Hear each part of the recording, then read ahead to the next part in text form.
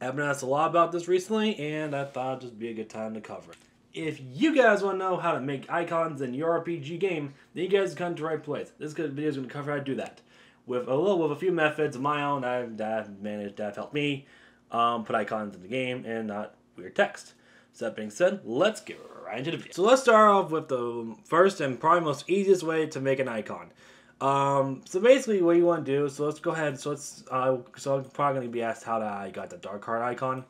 Basically, uh, what, an option I did was I searched up dark heart on the decals, and it shows up with this stuff, honestly, like dark heart aluminum. And then what I did was I went, uh, added a part here. Um, then I made a de did I paste I put a decal on here, um, like this. Just press one of these, put make sure you have the part selected put that there, and you have your dark heart sword. Copy that, copy the icon numbers, go into the world itself, or go into the dark heart itself, and what we're to do is copy this, and voila, you print out the icon ID right here, and it should work regardless. So yeah, I already have the dark heart icon ID in here, but um, yeah, so and then why I didn't know how I would do it was just, is just play, and it should show up regardless. If yeah, so I replaced it with another dark. I got the dark heart icon. It still came up even if I changed the numbers. So yeah, there you go. Um, that's pretty much how you do it with decals.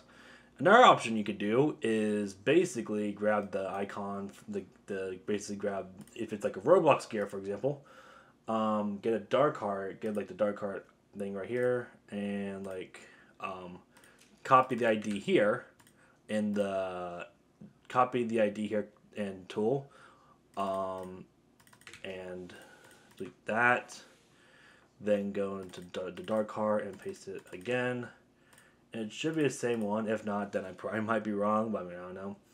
Um, and I am wrong. Okay shock. Okay that's that's okay. Um, that came out of nowhere. Um, I'm actually going to decals and actually get the part itself that actually has it. Uh, it doesn't seem to work. Okay. Um. Okay. Yeah. Uh. One second while I grab this. Um. I think this was the one most likely. Um. There it is. All right. Here's a dark heart icon that I got. That I got from last time. So copy this and delete the dark heart this dark in this part right here and paste it into here and you print up the dark heart icon. In regards, it should work if I'm correct. Now if I play it, uh, the dark heart icon appears again. So that's nice. Now we're going to go and do one. So let's print two ways on how to add icons. Basically go for the decal or I'll go for go if it's like Roblox gear or something like that. Grab it from the icon itself and uh, all that stuff. Now, next part is kind of a more of an interesting one. I kind of want to go over myself since I'm probably going to be asked about it. What if I have a custom sword that doesn't have an icon, like something I made myself or something like that? Well, I'm probably going to show you guys how to do just that as well. Um, so we're going to go, what we're going to do is go into our base plate um, for this. Alright, so in the base plate, go ahead and add a part which I just did. Um, you, are, you probably know how to make a, ba a base plate area if you have. But basically what I did was I moved this over here. And I basically made this green. Uh, just that. You, will see what I'm going to do. But basically what I'm going to do now is uh, copy the, the sand staff and give it its own, its own icon. So what I usually do is just I paste the icon, I paste them the the thing here, uh, grab it this, um, grab it, grab the icon, grab its like you know um, tool. Um, then what I usually then if I am using 2022 materials, if I'm not using if I'm using classic materials, I'll just turn this off just to make it look just make it more relevant. And I like some type of copy pasta and make it look less weird. And then what I would usually do is like, okay, maybe I scale it. I don't scale it, but um, basically something like that. And uh, then what I would do is go into um, this screen. Um, what would you do? Screenshot it. I think there's a way to screenshot. I did. I just made this myself because I'm tired of the new Roblox UI. It kind of sucks. No offense, but uh, yeah. Anyways, I think how do you how do you even uh how do you I how do you even like screenshot? I don't even know. Give me one second, real quick. Uh. Okay, so basically I wasn't gonna find out how to do that, but uh, basically what I did was just I added a new tab here, and I added tools, and I pressed and I searched up screenshot right here. That's pretty much how I got the screenshot icon to show up here. So it, it, it's really weird, but um, if you're using a new UI, um, then that's pretty much how I did it. But yeah, anyways, go ahead and take a screenshot of this, and then we're gonna move to and then grab some kind of um, I don't know, like let's go. And then we're to go into. We're not gonna go to, into a um, into a base folder, uh, not base folder. We're going to go into a photo software, and uh, we'll show you how to um, change, make it um, look better. So for this example, I'm going to be using Photopea as it's kind of free and it's pretty much free for everyone. So if you guys want to use it, feel free to. But yeah, anyways, what we're going to do is make a new project and we're going to make it have like, uh, what's here? Uh, we'll go, we'll do, I think I'm, I'm probably kind of want to do like a 500 by 500 maybe, if I can find it maybe. Uh, let's see here. It is a 500 by 500, that'll be, be, amazing. But, uh, um, yeah, okay. Maybe, actually, maybe I'll just do like, uh, yeah, let's do 500 by 500 and we'll go from there hopefully. And then what we do is create it. And then what we're to do is do call, we're to delete this. And, oh, um, okay. But basically what we want to do is do this, um, put, and then we can just move this up in here and all that stuff. Basically what we're going to do is move this that it fits the, if it's the screen and then what we're going to do is basically remove the... Basically what I'm going to plan, what I kind of want, want to do is uh, remove the... What the hell? Hey guys, I'll... Uh, give me a second. Sorry about that. Um, uh, looks like someone's making workers here, but apparently my girlfriend was just trying to find something. Anyways, um, basically what you want to do is select this thing, and I guess uh, then what I, what I do next is like select it. It's basically select it and like inverse it and delete it and what I'll do then, uh, let me rasterize layer real quick. Uh, I have sworn I, okay, there you go.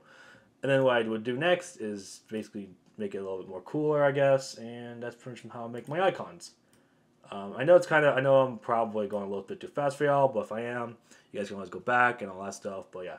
And then what I can do, and then what I would do is save it to um, export as PNG and save it there. So uh, we'll just call this sand staff tutorial. Um, and I'm going to save it. And it's saved. So, hallelujah. That's nice. Cool. Oh, shit. Uh, okay. You guys didn't see that. All right, uh, moving on. Upload the decal. Um, upload the decal. Upload the image to as a decal in Roblox. So basically, what I'll do is go and upload. Um, you won't be able to see this, so um, good thing because I might have some stuff on here that uh, rather not be leaked. Um, that's just how we are. I mean, we all have our own things we gotta do. So yeah, uh, personal stuff, you know. Anyways, um, so now I got this, got the Staff tutorial. What I'm gonna do is upload it there, and then what we should get. Okay, so now that you got that on, uh, now you got that uploaded. What you want to do now is go and just go to the Sand Staff tutorial you were looking for, copy the ID, and then what you want to do is get it, go into the part and get a decal, and just to make sure we're on the right path, we're on the right path, um, or maybe not. Uh, yeah, I think I might need to fix it real quick. Give me a second, y'all. Um, something's going. Okay, I'm not sure what the hell that was all about, but I was able to finally get it working. Yeah, that is just really weird, honestly. Roblox has been acting really weird recently. But anyways, now we got data with. Basically, what we got now is uh, so basically what we want to do is this is basically the decal that we can work with. Copy the ID here. Oh my god. Um, but uh, yeah. Anyways, what we want to do now is go into get the decal and copy the ID numbers. Then let's go and get the sand staff thing right here. Um, let's paste that in here and paste the numbers in here. And would you look at that? It should work. So if we delete a part and play the game, the sand staff should show up if I'm correct. And just like that, the sand staff shows up. Oh boy. Okay, that's actually nice. That looks sick. Okay. But yeah, that's basically how you make icons. Um, it's kind of a bit of a rundown series. It's bit, it's a bit of a rundown, um, rundown tutorial. Um, doesn't really go much into detail like effects and stuff. It's just get a green screen, open up Photopea, and um, you know add icons to it, and, and, like remove the green screen and save it to as a photo in PNG, and all that fun stuff. So yeah, uh, that's really all you. That's really all there is really to making fun to making icons. Honestly, um, the rest is up to you. Honestly, you can make it like you can add like cool effects with it and stuff. Um, I do have one thing. I one thing I do do do when I'm making um, to re, to reduce my risk to reduce my use of icons, is I have um, I use icon colors too. So basically, like if I had like a blue like a red version of a dark heart, I will make it. I'll make the icon color red. Um, it's kind of an interesting idea, um, but I definitely I probably will go if I if people do want to see a video on that. I'll definitely will be in a more advanced tutorial.